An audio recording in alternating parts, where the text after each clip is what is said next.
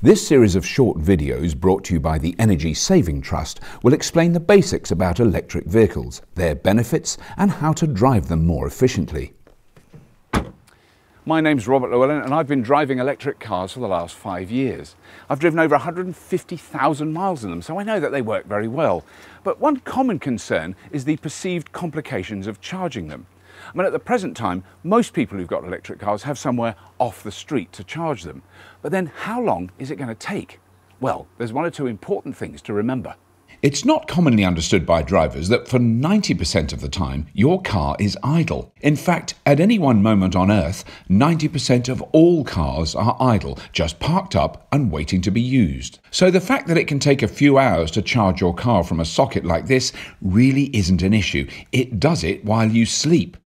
A good way to distinguish between charge times is to think about how many miles of range a different supply will give you per hour. A socket like this one, with a 16 or 32 amp feed, or 5 to 7 kilowatts, will add between 15 and 30 miles range in an hour. So, if your car has a range of 150 miles and it's very nearly empty when you arrive home, a socket like this will take about 6 hours to reach 100%. 6 hours while you're sleeping. If you have a plug-in hybrid electric vehicle, the battery is much smaller and won't take much time to charge, just an hour or two. If you have a variable rate electricity supply, you can charge your car after midnight and make even more savings on your fuel bill. Another important thing to remember is that every morning when you get in your car, the tank is full. Now, there's no more dashing by the filling station first thing in the morning and standing in the cold.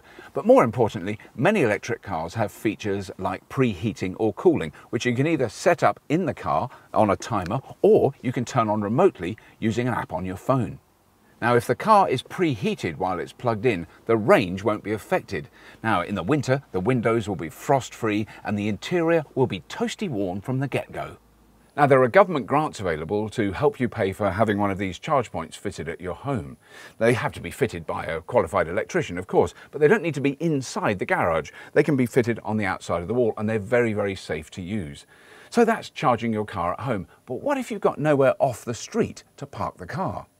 There are more and more solutions for on-street charging appearing all the time. If you only have access to on-street parking, you can approach your local council and suggest they fit one of these. They can apply for grant assistance from the Office of Low Emission Vehicles. The number of on-street charging points is rapidly increasing. In Greater London, for instance, there are already thousands of publicly accessible on-street chargers, not counting the many in car parks and supermarkets. This is a new system that's just been introduced, which expands the possibilities to an enormous degree. Street lamps already have an electric connection. This special cable can access any one of them fitted with this socket. The box on the cable communicates with a central system which records the cost of each charge. All you have to do is plug it in and the system works it out for you. So when you travel longer distances, you can make use of rapid chargers like these. At a glance, these contraptions can look a bit complicated, but they're genuinely not that hard to use there are three different connectors that you can use to get a rapid charge in your car. And in order to access these chargers, you need either a card, a membership card, or a smartphone app. The cost of using them is between three and six pounds for a charge. Most electric cars now have charge points embedded into their sat navs, which makes planning a longer journey even easier. Now there's lots of web pages and smartphone apps that show you where all the publicly available chargers are. So one really important thing to remember is if you can charge your car either at home or at work, then that is where you'll charge it for 90% of the time. Now, I do use the public charging network, but after seven years of driving electric cars all over the country, I use it far less than I imagined. Of course, the more charge points there are, the easier it will be. Places like hotels and restaurants, uh, supermarket car parks, multi-storey car parks are all fitting electric car charging points because they know it brings new customers to their business. After a while, you discover that charging your car is not as complicated as it might first seem. I'm not terribly clever and I manage.